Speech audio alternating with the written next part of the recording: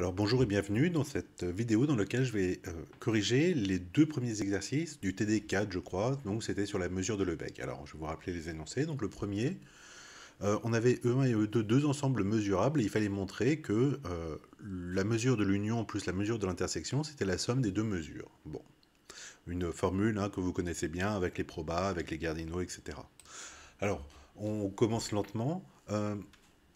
Donc, qu'est-ce que je sais? Je sais que euh, j'ai juste E1 et E2 mesurables, il faut quand même que je justifie que ben, j'ai le droit de prendre la mesure de Lebesgue, de l'union et de l'intersection, d'accord? Donc ça va être mon premier truc, et puis le deuxième, ça va être comment je fais pour passer de là à là, d'accord? Alors j'ai synthétisé ça ici. Euh, donc on doit justifier que les ensembles que l'on considère sont mesurables, hein. on sait seulement que E1 et E2 le sont, bon ça va pas être trop compliqué, c'est une ligne pour dire que, ok, j'ai le droit de, de faire la mesure de ces deux ensembles-là. Et après, alors, euh, bah, pour trouver E1 et E2, bien sûr, il va falloir utiliser la sigma additivité ou euh, plutôt euh, l'additivité finie.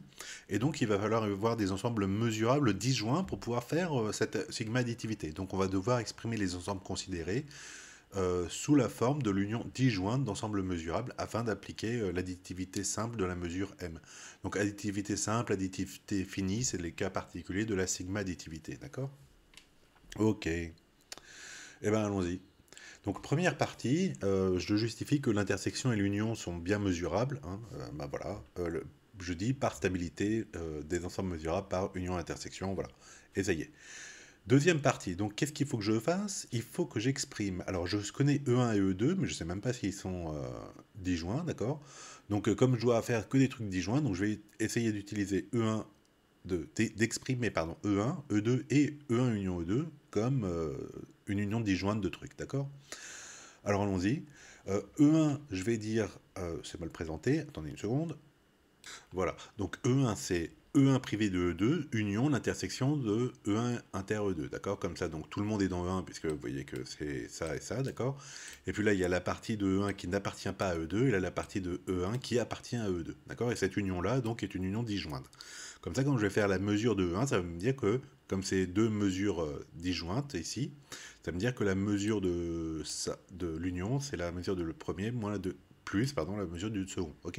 Petite, petite remarque d'ailleurs, il faudra que je dise que E1 moins E2 est euh, mesurable hein, pour pouvoir faire la mesure de ce truc-là. Ok? Euh, Ici, E2, bah, c'est pareil, hein, je dis que c'est... je dis que c'est E2, euh, e les éléments pardon, qui appartiennent à E2 qui ne sont pas dans E, 1, 1, union, euh, disjointe, donc E1 inter E2. Et évidemment, ça n'a toujours pas été bien. Hmm. Voilà, et enfin l'union des deux, d'accord, bah, c'est euh, les x qui appartiennent à E.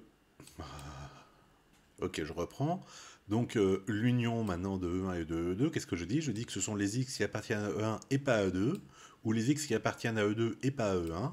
Et enfin, donc ça c'est la différence symétrique, hein, euh, et enfin, ceux qui appartiennent et à E1 et à E2. D'accord? Donc, si vous faites euh, trois patates, les diagrammes de Venn, hein, euh, vous allez voir, donc, vous faites l'ensemble là, et il y a bien trois parties ceux qui sont dans E1 et pas dans E2, ceux qui sont dans E2 et pas dans E1, et puis ceux qui sont à la fois dans E1 et dans E2. Donc, ces deux intersections, de unions là, sont disjointes. ok?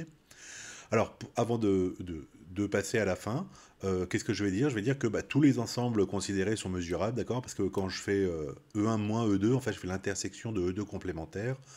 E2 étant mesurable, le complément d'un mesurable est mesurable, l'intersection de deux mesurables sont mesurables. Bref, je dis, comme tous ces ensembles euh, sont mesurables par intersection ou complément d'ensembles mesurables, Ok, ok, ouf. On a par sigma additivité de la mesure de Lebesgue, donc c'est la, sigma additivité ou l'additivité finie, simple, d'accord, bref. Donc euh, j'ai bien des ensembles, pardon, ici, d'accord, j'exprime bien ça sous la forme d'ensembles mesurables disjoints, pardon. Donc la mesure de E1 union E2, c'est la mesure de ça, plus la mesure de ça, plus la mesure de ça, d'accord Si je rajoute une mesure de l'intersection, je trouve bien. Donc euh, ça me fait ça, quoi, hein, d'accord euh, Voilà. Plus euh, ça, ok Et puis ici, je sais que c'est la mesure de E1, hein, on a dit ici, et là c'est la mesure de E2, d'accord? Voilà. Alors vous n'allez pas voir puisque c'est en dessous hein, la fin, mais donc ça me fait est égal à m de 1 plus m de E2, ok Avec ça et ça. Voilà donc pour le premier exercice. Second exercice. Ah ouais, on voit juste, mais heureusement. Donc j'ai une famille EK dénombrable d'ensembles mesurables. Attention, 10 juin, et elle s'était pas marquée sur la feuille initiale de TD, c'est pas bien, c'est pas bien. Donc on souhaite montrer que la mesure, donc pour toute partie A, pardon, si je dis pas le truc important, ça marchera pas, on a la mesure extérieure de A inter l'union des EK est égale à la somme des euh, mesures extérieures de A inter EK. Alors qu'est-ce que c'est que ce truc? Bon, euh, alors je l'ai mis après. Enfin, what is the problem? Enfin, c'est quoi? Donc déjà, qu'est-ce que je veux faire? Je veux faire une sorte de, sigma additivité, hein, un cas de sigma additivité. Donc, euh, il faut quand même avoir des, des conditions, hein, d'accord? Les EK sont des euh, mesurables disjoints, d'accord? Pour avoir euh, cette égalité-là. Hein? donc c'est une sorte de sigma additivité, mais par contre, A, c'est un ensemble quelconque, on a dit. D'accord? Donc l'idée, ça va être quoi? Bah, Ça va être de passer de la mesure extérieure M étoile à la mesure classique de Lebesgue M, d'accord? Pour pouvoir utiliser la sigma additivité de M, euh, voilà. Mais quels sont les hic eh ben, C'est que euh, A, il est, c'est une partie, c'est pas mesurable, donc je peux pas faire M de A ou de A inter quelque chose, etc. Puisque euh, c'est une partie quelconque et, et bah, elle n'est pas, est pas forcément mesurable elle-même. quoi. Ok voilà. Et en plus, hein, il faut évidemment que je fasse, que j'exprime, quand, j'aurai m de quelque chose, hein, d'accord, il faut que le quelque chose, ce soit l'union de trucs disjoints, d'ensemble mesurable disjoints, d'accord pour pouvoir faire la sigma additivité euh, donc, euh, de Lebesgue. ok donc c'est pour ça qu'il faudra en plus que j'ai des mesurables disjoints. D'accord Alors en fait, on voit ici, donc je vais faire la première inégalité. Bon, celle-là, elle est, elle est à peu près évidente, ça résulte simplement de euh, la sous-additivité de la mesure extérieure, d'accord? Je vais étudier le cas infini, ok, et puis dans le cas contraire, c'est-à-dire que lorsque la mesure extérieure sera finie, alors je vais utiliser un ensemble euh, que vous connaissez, donc c'est un G delta, ok? Qui a la même mesure euh, que ce truc-là, sauf que lui, hein, ce G là, euh, lui c'est un ensemble mesurable, hein, donc G delta, puisque c'est l'intersection dénombrable d'ensembles ouverts, ok? Et avec ce G là, eh ben, donc qui a la même mesure que ça, eh ben, je vais pouvoir me débrouiller pour justement exprimé sous la forme euh, G inter euh, DEK, d'accord, qui, vont être 2 à 2 disjoints, etc. Donc je vais faire l'union de ces trucs-là, ok, et je vais pouvoir m'approcher de ça a priori. Voilà, donc ce que je savais, c'est que les EK sont mesurables et disjoints. Disjoints, c'est très important. Et puis euh, A est une partie quelconque, hein, d'accord, donc je, vais la remplacer dans ce texte par un G delta qui est mesurable et qui aura la même mesure extérieure qu'elle. Alors allons-y. Première étape, il faut les montrer ce truc-là, qui est une évidence en fait. Donc euh, voilà, l'idée c'est d'utiliser la sous-additivité de la mesure extérieure. Je vous ai rappelé la, définition de la sous-additivité de la mesure extérieure, hein, mais il n'y a pas que la mesure extérieure qui est sous-additive.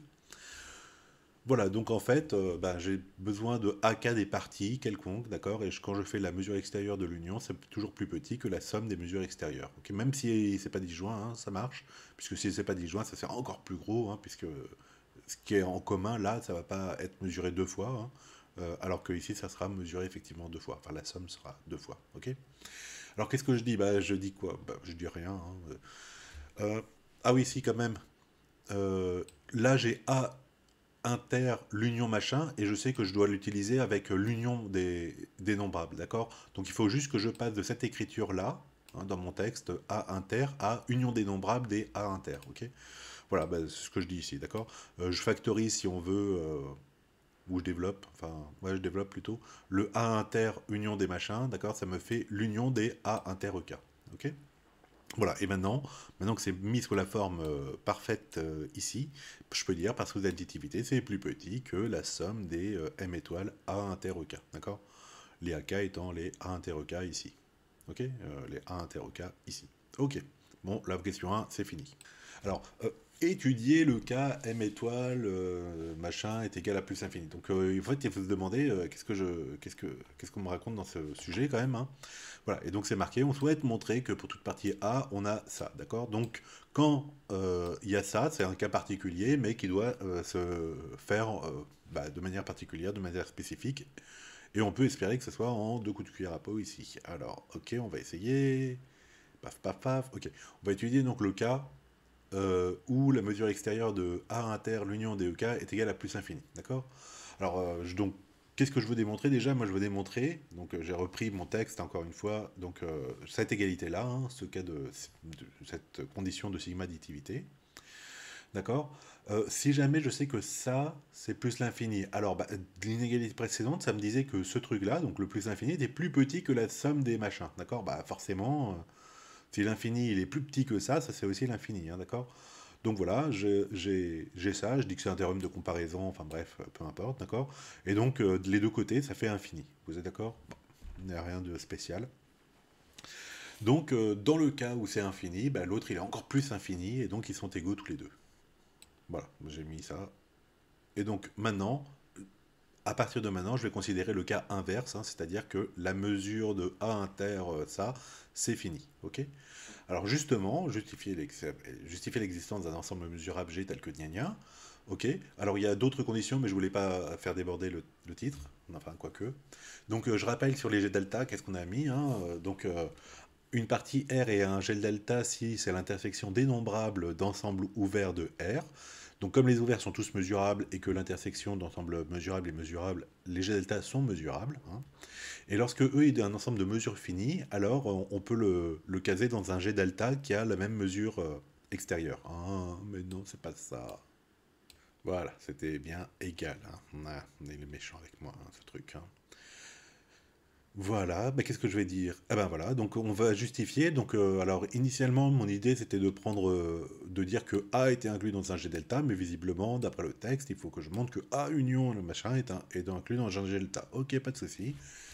Donc comme euh, ça est de mesure extérieure finie, il existe un G delta, donc on l'appelle G, qui contient ça et qui vérifie donc la mesure extérieure de euh, bah, ce truc-là est égal à la mesure extérieure de G. Sauf que le, grand, le grand truc, euh, c'est ça. Alors je ne l'ai pas mis dans le texte, hein, mais c'est ça qui est euh, vraiment intéressant.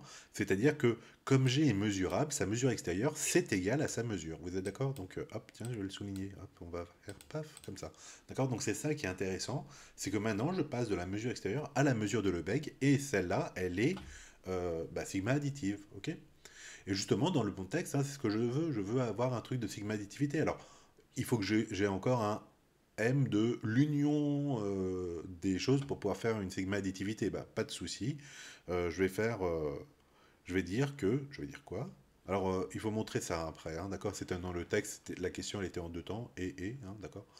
Paf. Donc, je sais que la mesure extérieure de G, c'est égal à la mesure de Lebesgue de G. Euh, par monotonicité, d'accord euh, Ouais, bah c'est pas ça. Non, non plus. Alors pourquoi c'est pas ça? C'est parce que je veux absolument pas avoir du A, puisque le M de A, ça, ça, marche plus. Hein. Je, fait tout ça pour avoir un G, moi. Hein. Voilà qui est mieux. Alors, donc, G inter quelque chose, c'est bien sûr plus petit que G, c'est inclus dans G, pardon. Donc, par croissance ou par monotonicité de M, la mesure de Lebesgue de ce truc-là, c'est plus petit que la mesure de G. Je savais que la mesure de G, c'était égal à l'autre. Ok, très bien. Et maintenant, donc, euh, bah, je fais toujours le même coup. Hein, euh, euh, G inter, l'union des dénombrables, c'est l'union des G inter au K. D'accord? Et donc, par sigma additivité, j'en déduis que la mesure, donc ce truc-là, c'est ça, hein, d'accord? Donc la mesure pardon, de l'union de ça, puisque chacun ils sont euh, dénombrables, euh, mesurables et de de disjoints, ça me fait la somme des mesures comme ça, d'accord? Et alors après, je rebascule sur le A, ok? Alors qu'est-ce que je sais? Je sais que G, il est... Enfin, il contient ça, d'accord? Je ne le réécris pas parce que j'ai plus beaucoup de place. Donc le G, il contient ça, Donc euh, quand je fais G inter EK, donc je fais inter euh, un certain EK, là, c'est plus, euh, il, varie plus, donc je vais dire EK0, ok? Donc bah, ça me fait A inter EK0, d'accord? Puisque vous voyez ici, d'accord? Là c'est tous les EK, d'accord? Ils sont 2 à 2 disjoints, donc quand je fais inter EK0, bon bah dès que le K il va être, il va être différent de K0, celui-là, eh ben ça va faire vide hein, l'intersection des deux, et sinon bah, ça va me faire EK0, et donc ça me donne bien le celui-ci. ok? Donc voilà, donc euh, c'est ça, et puis j'ai terminé, d'accord euh, J'en déduis donc que euh, la mesure extérieure de A inter, ça est égal à m de g, qui est donc la mesure de Lebesgue, que je viens de, démontrer que c'était plus grand que la somme des mesures extérieures, euh, celle-ci, d'accord? Et par la question 1, je sais que ça, par sous-additivité, oui, sous-additivité, c'était de toute façon plus grand que ça. Ben, J'en déduis donc que les deux choses ici et ici sont égales par double inégalité. Ouf, voilà pour la présentation de ces deux premiers exercices sur la mesure de Lebesgue, l'ensemble mesurable.